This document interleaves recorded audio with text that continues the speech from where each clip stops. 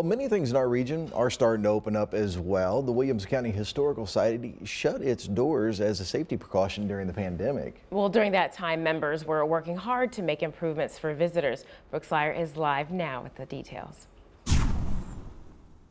Yeah, good morning, Abby and Dave. Well, I am really excited to be here at the Williamson County Historical Society this morning.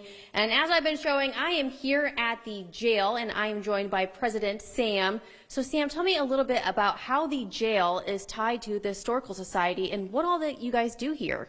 Okay. Uh, the new courthouse was built, it's actually I say new courthouse, it was a new courthouse back in 1971, and they replaced the courthouse and the uh, jail at the same time, and we ended up, as a historical society, ended up with this for $1 from the county. So we have a, uh, we've had a historical society since 1954. Our job is to conserve and preserve local history and help people with genealogy if we can. Boy, you guys got a steal for that uh, $1 deal right there. And, you know, I've been in some of these different cells just kind of looking around. You know, what was life like for one of the uh, inmates here as long as, along with the sheriff?